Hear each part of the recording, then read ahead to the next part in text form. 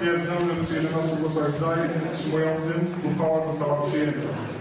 To kulminacyjny moment nadzwyczajnej sesji Rady Gminy. 11 głosów za, jeden wstrzymujący się. Na taki wynik czekali przedstawiciele miasta i zwolennicy integracji. Do momentu podjęcia decyzji nigdy nie jesteśmy jej pewni. Tak chciałbym podziękować wszystkim, którzy się zagłosowali za, bo wierzę w to, że udowodnimy działaniem, że to jest dobra decyzja. Coś, co od kilkunastu lat e, w Zielonej Górze było tylko i wyłącznie w sferze domysłów, rozmów, dziś e, stało się faktem. Radni gminy uchwalili połączenie miasta i gminy w styczniu roku 2015. Jednak głos na tak nie wszyscy oddali lekką ręką. Moja dusza płacze, powtarzałam i powtarzam, za utracenie swojej tożsamości jako gminy, której żyję 50 lat. Radna gminy Antonina Ambroziewicz-Sawczuk wyjaśniała, że do tej pory była na nie nie przez pilnowanie tak zwanego stołka. Głos na nie nie był również atakiem na demokrację i wynik majowego referendum. Dla mnie wynik referendum jest bardzo wiążący i od tego nie odstępuję.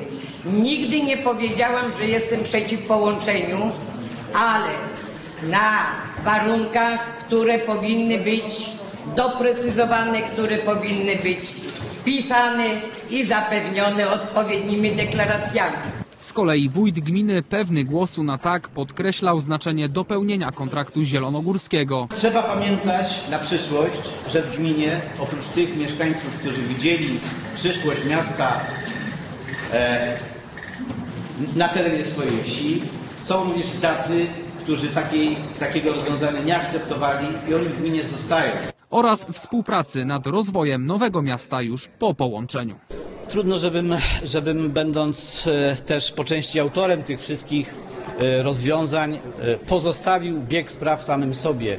To e, jest, sądzę, mój obowiązek, żeby przynajmniej do jakiegoś etapu tego procesu połączeniowego doprowadzić, takiego, żeby można było bezpiecznie powiedzieć, teraz już będzie dobrze. Połączenie to droga do nowej rzeczywistości. Między innymi przed nią broniła się część gminy. Szef społecznego zespołu do spraw przeciwdziałania likwidacji gminy Zielona Góra przegrał. Płakać w poduszkę oczywiście nie będę, aczkolwiek e, dzisiaj mi pozostaje mieć tylko nadzieję, że będzie dobrze. Po prostu.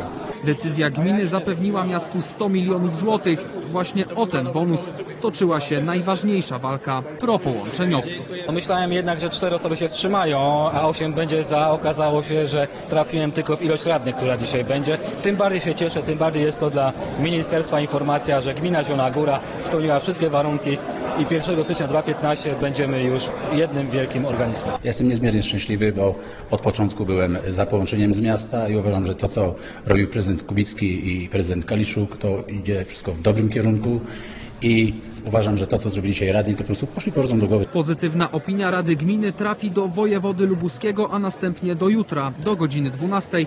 Musi wylądować w biurze Ministerstwa Administracji i Cyfryzacji. Rada Ministrów decyzję o styczniowym połączeniu najprawdopodobniej wyda jeszcze w tym miesiącu.